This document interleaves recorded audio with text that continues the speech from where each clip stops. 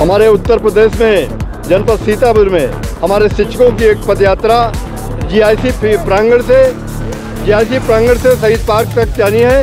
उसमें अटेवा के द्वारा ये पुरानी पेंशन बहाल करने के लिए आज पदयात्रा की जा रही है। हमारी सरकार को सोचना चाहिए कि हमारे जो 2005 से हमारी पेंशन हमारे शिक्षक भाइयों की, हमारे अन्य कर्मचारियों की शिक्षकोत्तर कर्मचारियों की पेंशन खत्म कर दी गई है। उनके उनके रिटायर होने के बाद जरा सोचिए, सरकार के लोग तो हमारे बैठे हुए दो दो तीन दिन पेंशन ले रहे हैं। लेकिन हमारे शिक्षक, हमारे कर्मचारी, हमारे शिक्षक कर्मचारी, हमारे राज्य कर्मचारी, जिनकी सेवा पैंतीस, चालीस वर्ष होने के बाद जो सेवानिवृत्त हो गए, उनको पेंशन नहीं दी जाएगी। ये कहाँ का अन्याय है?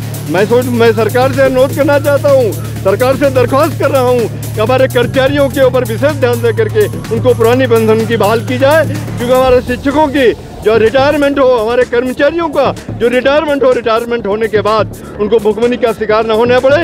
अभी आपने देखा होगा, एक दो महीने हमारे अगर कर्मचारियों की तनख्वाह लेट हो जाती है, उनकी जेब खाली होने के बाद उनके घर का खाना चलना मुश्किल हो जाता है। जरा सोचिए पैंतीस चालीस वर्ष होने के बाद जो हमारे कर्मचारी और शिक्षक रिटायर होंगे, जरा सोचिए उनको पेंशन न दे करके ये सरकार न्याय करेगी। अरे सोचिए, आप सरकार में बैठे लोग, हमारे विधायक, एमपी और ये जो राज्यसभा सांसद वगैरह जो भी बैठे हैं, दो दो, तीन तीन, चार चार पेंशनें ले रहे आप लोग आपसे अनुरोध है, राजनेताओं से अनुरोध है, हमारी सरकार ये सोचे और रहम करे हमारे भाइयों के ऊपर। अगर नहीं, रहम नहीं करती है तो हमारा अकेवा के द्वारा ये संगठन बहुत बड़ा संगठन है।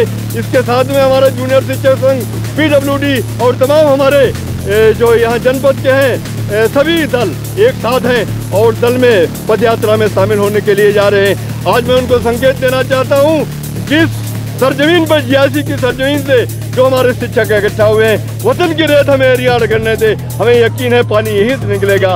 हमारे यहाँ के लोग, हमारे पदयात्रा में शामिल होने, में सरकार को चेतावनी दी जा रही है कि सरकार सोचे और उनकी मांगों को पूरा करने का कष्ट करे। धन्यवाद मैं फुरकान अली जिला अध्यक्ष जुनाद स्कूल शिक्षक संघ, सीतापुर।